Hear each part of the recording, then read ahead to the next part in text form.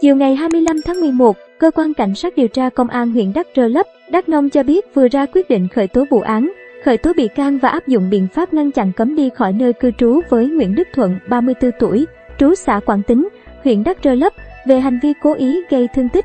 Theo kết quả điều tra ban đầu, ngày 16 tháng 10, anh Lê Bá Hòa, 34 tuổi, nhân viên điều dưỡng của Trung tâm Y tế huyện Đắk Rơ Lấp làm nhiệm vụ tại khoa hồi sức cấp cứu của Trung tâm Y tế huyện Đắk Rơ Lấp.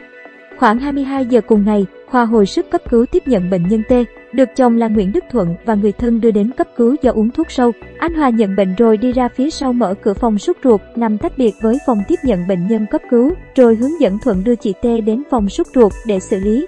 Cho rằng anh Hòa xử lý thiếu khẩn trương và lo lắng cho sức khỏe, tính mạng vợ, Thuận dùng tay đấm nhiều cái vào đầu, mặt anh Hòa. Anh Hòa tránh vào trong thì bị Thuận đuổi theo tiếp tục đánh vào đầu và mặt. Sau khi đánh nhân viên y tế, Thuận ra ngoài hành lang đập phá một số đồ đạc khác. Toàn bộ hành vi của Thuận đã được camera giám sát của Trung tâm Y tế huyện Đắk Rơ Lấp ghi lại.